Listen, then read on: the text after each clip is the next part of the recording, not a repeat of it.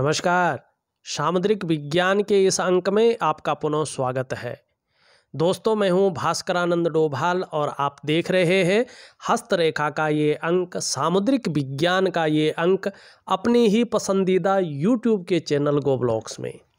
एक सुंदर सी मेल हथेली। आप पुरुष जातक हैं और आपकी रियल हथेली आज मेरे सामने विवेचना के लिए आई हुई है। देखिएगा थोड़ा समझने की कोशिश करिएगा। जो हमारी ये इंडेक्स की फिंगर होती है जिसको हम आ, हिंदी में तर्जनी की उंगली कहते हैं इसके नीचे वाला जो ये भाग होता है ये होता है गुरु का पर्वत बृहस्पति जी का पर्वत जुपिटर का माउंट इसे कहते हैं। ये हमारी हथेली में बैठने वाले प्रथम आचार्य होते हैं। चाहे हमारी कुंडली हो या चाहे हमारी हथेली हो, उसमें दो आचार्य बैठते हैं, दो गुरु बैठते हैं। और ये जो जुपिटर हैं, बृहस्पति हैं, ये हमारी हथेली में बैठने वाले प्रथम गुरु हैं, प्रथम आचार्य हैं। ये ऋषियों के भी गुरु हैं और देवताओं के भी गुरु हैं। इसीलिए गुरुओं में इनका सबसे आदरणीय, सबसे उच्च स्थान माना जाता है। हमारे जीवन में जो धर्म है, अध्यात्म है, ये उसको प्रभावित करते हैं। शिक्षा का क्षेत्र है, इंजीनियरिंग का क्षेत्र है, चिकित्सा का क्षेत्र है, मैनेजमेंट का क्षेत्र है, वाणिज्य का क्षेत्र है, कानून का क्षेत्र है, राजनीति का क्षेत्र है। उन क्षेत्रों में इनका दखल होता है। और जो ये हमारा अंगूठा है इसके नीचे का जो ये भाग है, इसको हम बीनस का माउंट कहते हैं, शुक्र का पर्वत कहते हैं। ये हमारी हथेली में बैठने वाले सेकंड आचार्य होते हैं। ये दैत्य गुरु हैं, दैत्यों के, दानवों के गुरु हैं। लेकिन गुरु है, गुरु होने की क्वालिटी इनके अंदर है और ये आपके जीवन के सुख को दिखाते हैं लग्जरी को दिखाते हैं। दैत्य गुरु होने के साथ साथ ये भगवान शिव के गण हैं, शिष्य हैं सॉरी भगवान शंकर के शिष्य हैं और हमारे जीवन में सुख का कारक है। चाहे किसी भी प्रकार का सुख हो, शुक्र के बिना सुख नहीं मिल पाता है। और देखिएगा, जैसे इस हथेली में देवगुरु बृहस्पति सुंदर और पुष्ट, अच्छी खासी स्थिति में है, वैसे ही शुक्र भी जो है सुंदर हैं, पुष्ट हैं। और गुरु और शुक्र किसी भी व्यक्ति की हथेली में बली हो इस प्रकार से तो कहना ही क्या? ऐसे व्यक्ति का चेहरा देखकर ही कोई भी उसकी तरफ़ आकर्षित हो जाता है। ऐसे व्यक्तित्व को ये उभारती हैं। चाहे वो महिला हो या पुरुष हो, इनका चेहरा इस प्रकार से होता है कि कोई भी देख करके उनकी तरफ़ आकर्षित हो जाएगा। धीरे धीरे ऐसे लोगों की जो मुस्कान है वो डेवलप होती है ज़बरदस्त रूप में। और ऐसे जो जातक हैं, जातिकाएँ हैं, औरों को अपनी तरफ़ आकर्षित करने वाले होते हैं। और दूसरा, अगर हमारी हथेली में ये गुरु, बृहस्पति, शुक्र बीनस ये दोनों में इसी प्रकार से बलाबल की स्थिति में हो और हथेली की रंगत धीरे धीरे जैसे आपकी आ रही है, गुलाबी अवस्था में आ रही है। तो ऐसे व्यक्ति प्रेमी भी होते हैं। तो आपके अंदर इन दो गुरुओं के कारण ये गुण अच्छी अवस्था में दिखाई दे रहे हैं, शानदार अवस्था में। दूसरी बात देखिएगा, आप अपनी हथेली की बड़ी शानदार तरीके से देखिएगा, आपकी हथेली का जो आकार है यहाँ पर ये आकार आयताकार किस्म का बन रहा है। ये शानदार है। मनी, ऐसा कार्य आपके लिए सुटेबल होगा, जिसमें बोलने से ज़्यादा काम चलता हो या मस्तिष्क से ज़्यादा काम चलता हो। ऐसा कार्य आपके लिए ज़्यादा सुटेबल होगा, तरक्की देने वाला होगा और कामयाबी उसमें आप अच्छी पाएँगे। दूसरा, जिस कार्य में शारीरिक मेहनत की बहुत ज़्यादा ज़रूरत होती हो, ऐसे कार्य में तरक्की या कामयाबी ज़्यादा नहीं दिखाई दे रही है। दूसरा, जिज्ञासु प्रवृत्ति आपकी जीवन में बनी रहेगी। सकारात्मक सोच आगे चलकर हावी होती हुई दिखाई दे रही है और इसका लाभ भी आपको प्राप्त होगा। ये आपकी हथेली यहाँ पे बता रही है। एक और चीज़ देखिएगा आपके हथेली में। दो चीज़ें बहुत ज़्यादा भिन्न दिखाई दे रही हैं, जो अच्छी नहीं मानी जाती है। एक तो ध्यान से देखिएगा आपकी हथेली में, इस प्रकार से चिन्ह आ रहे हैं आपकी हथेली में। इस प्रकार से देखिएगा। और ये, ठीक? इस प्रकार से आपकी हथेली में चिन्ह आते हुए दिखाई दे रही है, ये, ठीक? इस प्रकार के चिन्ह हैं। और धीरे धीरे आप देखेंगे इस प्रकार के चिन्ह आ रहे हैं। ये। ठीक पहले इस चीज़ को देखें। क्या बता रही है? आपके जीवन में राहु का मारक प्रभाव चल रहा है। राहु नेगेटिव अवस्था में बैठा हुआ है, जिससे सारे ग्रहों के जो शुभ फल है, उनका हरण कर रहा है। उनको आप तक नहीं पहुँचने दे रहा है। और सबसे पहली मुश्किल ये दे रहा है कि कदम कदम पर आपको इसकी वजह से मुश्किलों का सामना करना पड़ रहा है। पैसे रुपए को लेके, रोटी रोज़गार को लेके, आजीविका को लेके हर जगह आपको उतार चढ़ाव झेलना पड़ रहा है। आपका राव खराब है, किसी भी काम में सफलता नहीं दिला रहा है। कार्यों में अड़चने दे रहा है, कार्यों को बिगाड़ रहा है, कार्यों को ध्वस्त कर रहा है। पैसा कितना भी आ जाए, आपके पास खरबों रुपया भी आ जाए, आप फूटी कौड़ी तक नहीं बचा पाएँगे, उल्टा कर्जे में डूब जाएँगे, ऐसी स्थिति को ये प्राप्त कर रहा है। आपके हाथ में आया हुआ काम को छीन रहा है। जैसे हाथ में काम आ गया, सब कुछ ठीक हो गया, लेकिन जब उसका फल मिलना चाहिए, वो सब खत्म कर रहा है, आपको काम नहीं दिला रहा है। सौभाग्य की जितनी भी स्थितियाँ हैं, ये राव खत्म करता हुआ दिखाई दे रहा है और सूर्य पे इसका ज़बरदस्त प्रभाव पड़ रहा है। फिर क्या हो रहा है? देखेगा जीवन काल में लगातार उलझन दे रहा है, आपको उलझा के रख रहा है। सम्मान तो आता है, पैसा भी आता है, लेकिन साथ साथ में परेशानियाँ भी आ जाती हैं। और ऐसी स्थिति को ये पैदा कर रहा है कि आपकी परेशानियाँ जैसे वर्तमान में ख़त्म नहीं हो रही है, आपका तनाव जैसे ख़त्म ही नहीं हो रहा है और आप परेशानियों से मुक्ति नहीं ले पा रहे हैं। इस प्रकार की चीज़ों को ये दे रहा है। दूसरा, ये आपकी जो है करियर और धन की रेखा। ये एकाएक हृदय रेखा पे मिल के जा रही है टूट टूट के आगे बढ़ रही है, राहु का प्रभाव से ग्रसित है।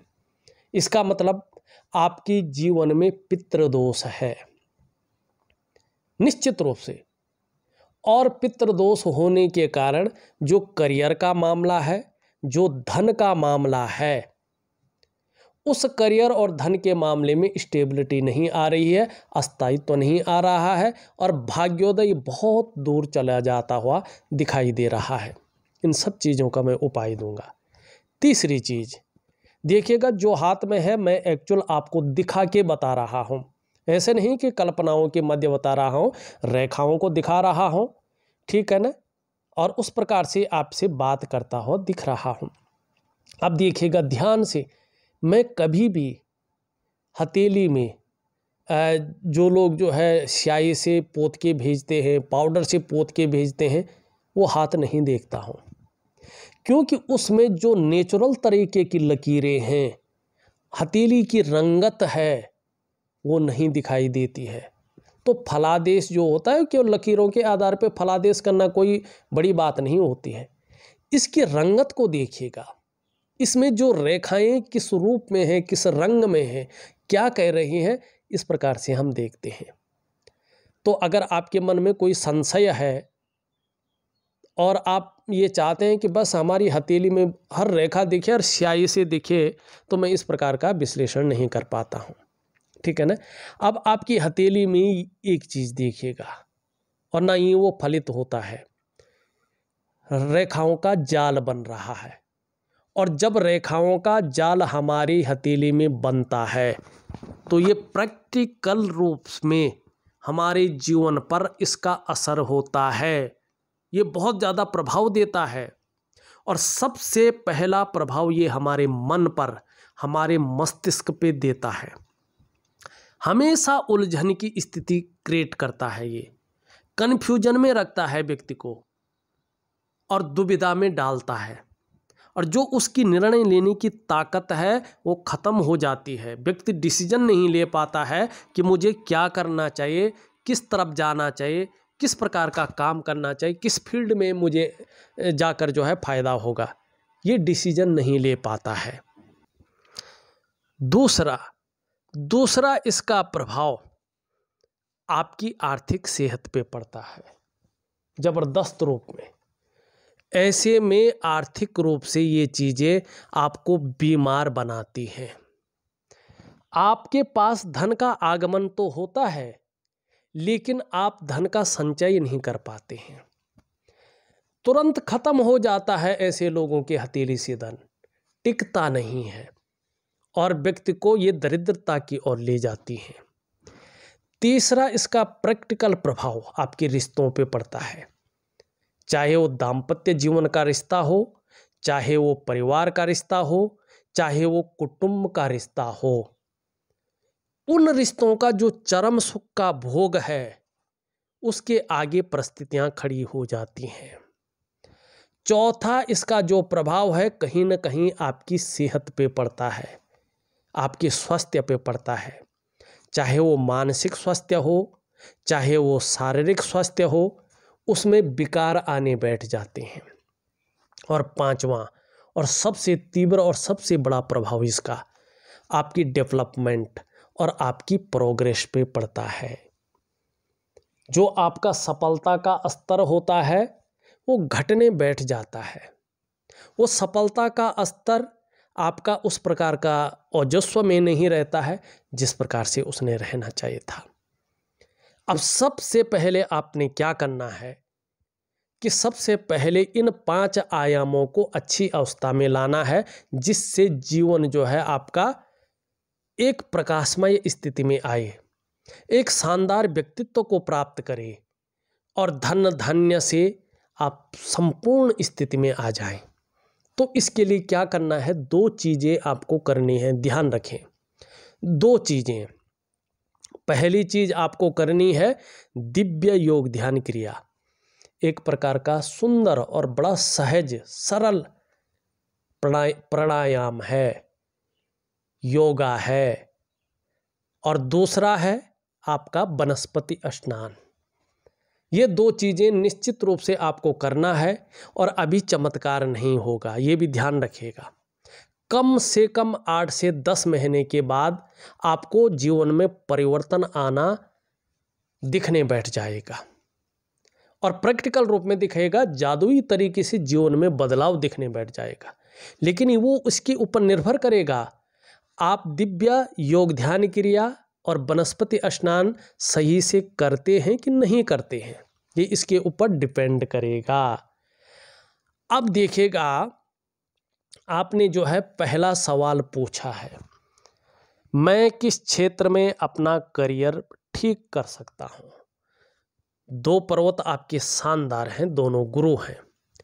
अगर हम आपके बृहस्पति पर्वत को देखते हैं तो ये बता रहा है, चाहे शिक्षा का क्षेत्र हो, चाहे इंजीनियरिंग का क्षेत्र हो, चाहे चिकित्सा का क्षेत्र हो, या मैनेजमेंट का क्षेत्र हो, या वाणिज्य का क्षेत्र हो, या कानून का क्षेत्र हो। इन क्षेत्रों में चाहे आप अपना काम करें, चाहे आप नौकरी का प्रयास करें, इन क्षेत्रों में आप अगर करियर बनाएँ तो आपके लिए बेहतरीन रहेगा अच्छा रहेगा। दूसरा नहीं तो आप अगर देखें, आपका शुक्र भी लगभग ठीक स्थिति में है। बहुत ज़्यादा चिंताएँ नहीं देता हुआ दिखाई दे रहा, मैंने ख़राब नहीं है। तो इसका जो है रेडीमेड कपड़ों का व्यापार है, ब्यूटी इंडस्ट्री है, या आप जो है कला के क्षेत्र में अगर रुचि रखते हैं तो उस क्षेत्र में भी कहीं ना कहीं अच्छा दिखाई दे रहा है। अब आप दूसरा सवाल पूछते हैं। क्या मैं राजनीति के क्षेत्र में अपना भविष्य बना सकता हूँ? राजनीति के लिए हथेली में चारों ग्रहों का मज़बूत होना बहुत ज़रूरी है, अच्छे फलित अवस्था में आना ज़रूरी है। उसमें पहला होता है आपका मंगल, ये दोनों मंगल। ये दोनों मंगल आपकी हथेली में शानदार है। बहुत खूबसूरत है, अच्छे परिणाम देते हुए दिखाई दे रहे हैं। तो इनकी तरफ़ से आपका प्रतिशत मिल रहा है अच्छा। दूसरा होता है आपका बृहस्पति। बृहस्पति आपका बहुत उच्च है, अच्छी स्थिति में दिखाई दे रहा है, इसका लाभ मिलता हुआ दिखाई दे रहा है। तीसरा मुख्य ग्रह होता है आपका सूर्य। सूर्य आपका अगर देखें तो जहाँ ऊर्जा विहीन है, वहीं जो है उलझन की स्थिति और कन्फ्यूज़न की स्थिति को भी साथ में ला रहा है। सूर्य सरकार का कारक है तो सूर्य आपका अच्छा नहीं है। तो सूर्य स्पष्ट बता रहा है, अगर राजनीति में आपने प्रवेश भी कर लिया तो सफलता नहीं है। क्लियर और चौथा आपका जो ग्रह होता है, वो होता है चंद्रमा। आपकी हथेली में आपका चंद्रमा अनबैलेंस स्थिति में है। और कोई फल देता हुआ नहीं दिखाई दे रहा है राजनीति के क्षेत्र में। तो राजनीति में प्रवेश मिल सकता है, लेकिन बड़ी सफलता नहीं मिलेगी, भविष्य बहुत अच्छा नहीं दिखाई दे रहा है। अगर आप ना जाएँ इस क्षेत्र में तो आपके लिए अच्छा रहेगा, कोई बहुत ज़्यादा उन्नति नहीं दिखाई दे रही है। तीसरा, मुझे किसी भी क्षेत्र में सफलता क्यों नहीं मिल रही है? उसका दो कारण है।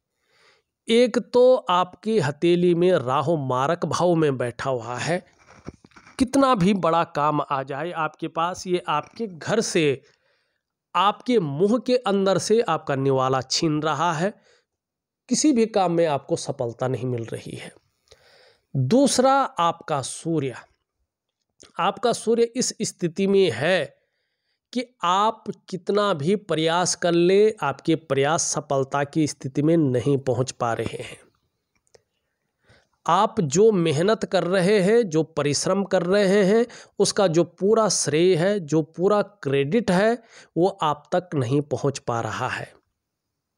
जो क्वालिटी आपके अंदर है, जो योग्यता आपके अंदर है, उस तरह से चीज़ें उभर कर नहीं आ पा रही है, निखर करके नहीं आ पा रही है। और मैं बात करूँ तो एक सहजता से, एक सरलता से जो आपको रास्ता मिलना चाहिए, वो रास्ता नहीं मिल पा रहा है। और देखिएगा ऐसी स्थिति में, अगर व्यक्ति व्यापार में जाता है तो व्यापार में वो विस्तार, वो फैलाव, वो नाम, वो यश, व्यक्ति वो ब्रांड बनकर नहीं उभर पाता है, जिसके लिए उसने सारा कुछ दांव पे लगा के व्यापार में गया था। ऐसी स्थिति में व्यक्ति अगर नौकरी भी करता है तो नौकरी में वो ग्रोथ नहीं मिल पाती है, जिसके लिए उसने अपने आप को खपा लिया हो। और ऐसी स्थिति होने पर, चाहे आपका शारीरिक स्वास्थ्य हो, चाहे जीवन की खुशहाली हो, चाहे जीवन का उत्साह हो, चाहे जीवन की ऊर्जा हो, इन चीज़ों की आपको चिंता करनी पड़ती है, ये चीज़ें हमेशा आपके साथ नहीं रहती हैं। आपको दो उपाय करने हैं इसके भी। लेकिन इस प्रकार से दूँगा मैं, आप सभी उपाय कर भी पाए, आपको पता भी नहीं लगे और कहीं ना कहीं जो है प्रैक्टिकल रूप में आपको जादुई तरीके से उसका फ़ायदा भी हो। इसके लिए मैं आपको दूँगा एक दिव्य सूर्य क्रिया और दूसरा दूँगा मैं राहु का आपको उपाय। अगर आप दिव्य सूर्य क्रिया नियमित रूप से करते हैं और जिस प्रकार से मैंने बोला है, समय का ध्यान रखते हैं तो निश्चित ही धीरे धीरे आपको इसका फ़ायदा होगा, जीवन के तमाम आयामों पे इसका प्रभाव पड़ेगा। जहाँ आपकी शारीरिक सेहत बेहद अच्छी हो जाएगी, वहीं आपका मानसिक संतुलन परफेक्ट होगा और आपका जीवन सहजता से चलने बैठ जाएगा। फिर चाहे शारीरिक स्वास्थ्य हो जीवन की खुशहाली हो जीवन का उत्साह हो जीवन की ऊर्जा हो इन चीज़ों की आपको चिंता नहीं करनी पड़ेगी। ये चीज़ें हमेशा आपके साथ रहेंगी। तो इस चीज़ को आप ज़रूर करिएगा। अब आपने जो है आ, मेरे पास धन का आगमन अच्छा मुझे किस क्षेत्र में सफलता क्यों नहीं मिलती है ये बताया है। चौथा आपने लिखा है, मेरे पास धन का आगमन होता है और तुरंत खत्म हो जाता है। क्या कारण है? आपके जीवन में जो सूर्य की स्थिति है और जो हथेली में नेगेटिव ऊर्जा की स्थिति है, इस कारण से आपकी हथेली में पैसा नहीं बचता है और आपकी आर्थिक स्थिति मज़बूत नहीं होती है। मेरा भाग्य उदय कब होगा? यार, जिस तरह से आपकी हथेली है, ये करियर और धन की रेखा है। ये करियर और धन की रेखा आगे नहीं बढ़ पा रही है कट कट करके आगे बढ़ रही है। इसके लिए मैं आपको एक लक्ष्मी का उपाय दूँगा रात्रि के समय का। वो आपको विधिवत तरीके से करना है, दिव्य योग ध्यान क्रिया करनी है। ढाई से तीन साल के बीच में अगर आप देखेंगे तो निश्चित रूप से जो है आपको इसका फ़ायदा मिलेगा। और रेखा कुछ नहीं कह रहे कि भाग्योदय कब होगा, लेकिन ये तो सत्तावनवें साल में बता रहा है कि सत्तावनवें साल में जाके भाग्योदय की स्थिति आ रही है। लेकिन एक चीज़ और है, अगर आप ध्यान से देखेंगे, बृहस्पति से निकल कर के कुछ रेखाएँ जा रही हैं और इस प्रकार से सूर्य पे दो रेखाएँ जा रही हैं, जो जीवन काल के फोर्टी नाइन ईयर में ज़बरदस्त जो है चीज़ों दे रही है भाग्योदय की स्थिति बना रही है। अगर आप प्रॉपर तरीके से उन्नति करते हैं जो उपाय करते हैं तो राहु आपको फोर्टी नाइन से फिफ्टी फोर के बीच में सरकार द्वारा लाभ की प्राप्ति करवाएगा यश की प्राप्ति करवाएगा, धन की प्राप्ति करवाएगा और आपके कार्यों को विस्तार की स्थिति में लेकर जाएगा। अब आप एक सवाल और पूछते हैं। आप लिखते हैं, मेरे काम हमेशा बनते बनते बिगड़ जाता है। जैसे काम बनने के लिए तैयार होता है और हाथ में आ जाता है, तुरंत ही उसी पल वो काम बिगड़ जाता है, ऐसा क्यों? राहु के कारण। नेगेटिव ऊर्जा के कारण। इन दो चीज़ों के कारण आपके साथ ऐसा होता है, इसका आपको प्रॉपर तरीके से उपाय करना है। अब चलते हैं हम अन्य चीज़ों पे। सॉरी ये उंगली पूरी तरह से झुकी हुई है आपकी मिडिल फिंगर की तरफ़। धार्मिक भावनाएँ बहुत अच्छी रहेंगी और ईश्वर में विश्वास बना रहेगा, इसका लाभ होगा। मिडिल फिंगर एक सही अनुपात में खड़ी है। ये आपकी मेहनती स्वभाव को बता रही है और मानसिक क्षमता बढ़ने वाली है। साथ में आध्यात्मिक क्षमता भी बहुत अच्छी रहेगी। एक जो है, स्वाभिमानी व्यक्तित्व के धनी रहेंगे। विवेक बहुत अच्छा रहेगा। दूसरों की मदद भी खूब करेंगे। नॉलेज बहुत अच्छा रहने वाला है। भाग्य बहुत अच्छा साथ देता हुआ आगे दिखाई दे रहा है। नेगेटिव ऊर्जा को ठीक करें। ये उंगली पूरी तरह से झुकी हुई है इस तरफ़। यश पाने की इच्छा, नेम फेम पाने की इच्छा और अपने कार्यों में विस्तार पाने की इच्छा बहुत अच्छी रहेगी, इसका लाभ होगा। दोनों उंगलियाँ बराबर हैं, दोनों मिडिल फिंगर से छोटी हैं। धन और यश की बहुत ज़्यादा भूख है। पैसा और सम्मान आपके लिए बहुत ज़रूरी हो गया है और इस समय जीवन का मात्र लक्ष्य भी यही आपने धारण किया हुआ है, यार यही बना हुआ है। ये उंगली पूरी तरह से झुकी हुई दिखाई दे रही है इस तरफ़। धन कमाने की ज़बरदस्त ललक बनी हुई है, इसका आगे लाभ होगा, लेकिन ये इसके पहले पौरों तक नहीं पहुँच पा रही है।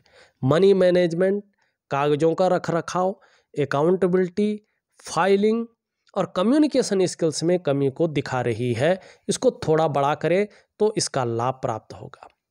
सभी उंगलियाँ जो है, यहाँ पे मिडिल फिंगर की तरफ़ झुकी हुई दिखाई दे रहा है। सबका झुकाव शनि की उंगली की तरफ़ है। ऐसे में व्यक्ति कई बार दुखी सा हो जाता है।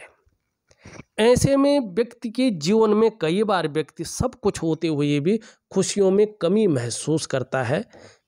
ये यहाँ पे दिखाई दे रहा है। यहाँ पे अगर देखें, एक सुखद जीवन जीने की चाह बनी हुई है। सुखद जीवन जीने के लिए जो है प्रयत्नशील व्यक्तित्व है और ये जिस तरह का है, ये बता रहा है कि जो राजनीति है, उसकी तरफ़ आकर्षित रहेंगे। ये आपकी हृदय की लकीर है, जो धीरे धीरे आपकी महत्वाकांक्षाओं को बढ़ा रहा है, बहुत आगे बढ़ने की सोच को दिखा रहा है, टॉप लेवल तक पहुँचने की इच्छा को दिखा रहा है और इसके लिए मेहनत भी खूब करेंगे। यहाँ पे इस प्रकार का चिन्ह बता रहा है, रहस्यमय विद्याओं की तरफ़ भी आपका आकर्षण बना रहेगा और उसकी नॉलेज भी अर्जन करेंगे। वर्तमान समय में क्रिएटिविटी ज़्यादा रहने की संभावना दिखा रहा है, इसका लाभ होगा और कल्पनाएँ भी बहुत ज़्यादा करेंगे। यहाँ पे इस प्रकार से जो है, ये चीज़ों को दिखा रहा है। देखिएगा, एक बात तो यहाँ पे दिख रही है। आप अपने जन्म स्थान से दूर जाकर ही बहुत बड़ी तरक्की को पाएँगे। जन्म स्थान में रहकर बहुत बड़ी तरक्की को पाना थोड़ा सा कठिन रहेगा। लेकिन आपको यात्राओं का भी बहुत अच्छा लाभ मिलेगा, ये दिखाई दे रहा है। यहाँ पे एक लाइन इस प्रकार से है, लेकिन इस लाइन टूटी हुई है। जो आपका करियर का मामला है, जो आपका धन का मामला है, उसमें स्टेबिलिटी नहीं है। तो इसके लिए दिव्य योग ध्यान क्रिया आपको करनी है और महालक्ष्मी का उपाय करना है। एक रेखा इस प्रकार से जाती हुई दिखाई दे रही है। ये थोड़ा सा जो है सफलता की और इशारा कर रहा मिलेगा। बोलने के ढंग के कारण भी पैसा कमाएँगे और व्यापार भी करेंगे तो लाभ होगा, लेकिन बड़ा लाभ 49 से 54 के बीच में दिख रहा है। ये कह रहा है, जो दो रेखाएँ हैं, स्वयं की मेहनत। और स्वयं के परिश्रम के बल पे आप श्रेष्ठ सफलता अर्जित करेंगे।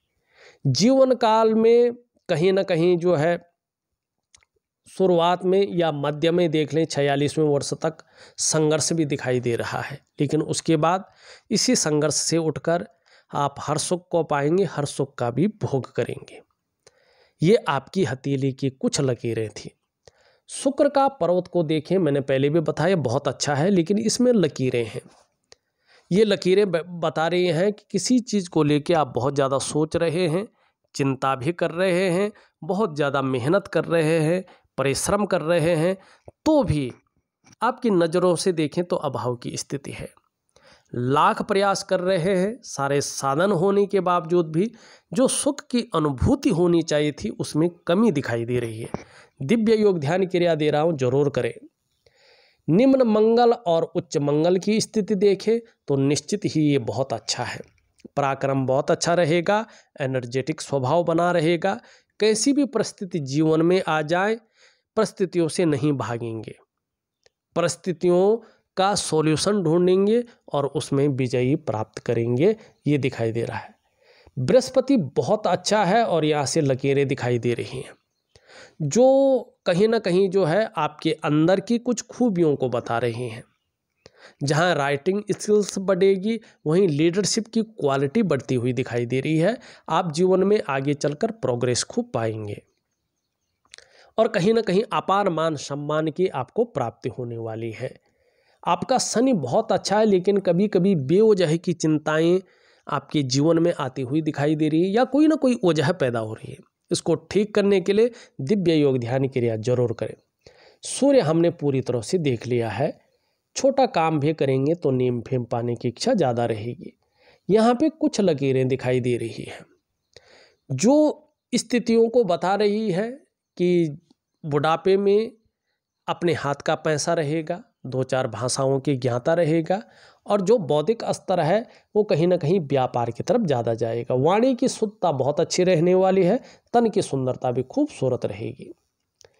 चंद्रमा हल्का अनबैलेंस है।